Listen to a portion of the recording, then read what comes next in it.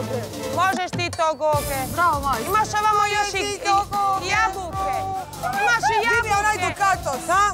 Dresir vrećicu. Pa imam tri minute, ti mi vi kažeš za dresir većicu. Pa možeš to.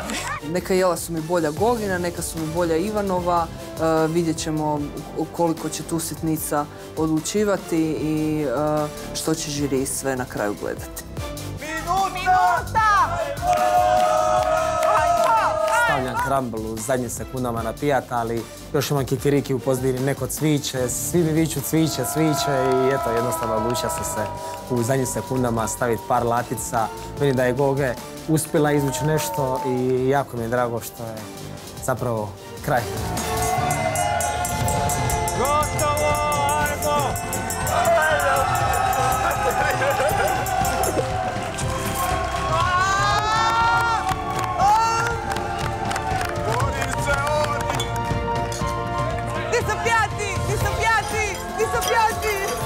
Ali svitu moj, znači u 12 minuta sam ja to napravila.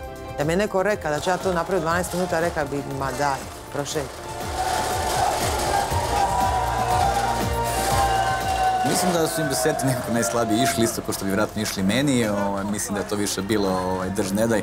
Tako da mislim da su na kraju te deserte, bez obzira što ih nisu zamislili onako kako su ih servirali, na kraju jako dobro izvukli. E, Meni se sviđa njen desert, ja sam jako zadovoljna kako se izvukla i jako ponosna. Odakle ideja za ovaj desert? To je bila nekakva ideja, pola, pola ideje je bilo za glavno jelo. Trebala biti manja, e, trebala biti u panko mrvicama, trebala ići na slanu varijantu, ali sam sva sreće mala skuhani krompir, pa sam to iskoristila za slatki desert, jer da nisam to imala, da se nisam tako brzo snašla u ovih 15 minuti, ne bi imala ništa. Od željkinih kanelona, jel tako? Do Da. knedle. Da. Gorana, bitno je da si se snašla. Pa sad, Da. vidit ćemo kad probam.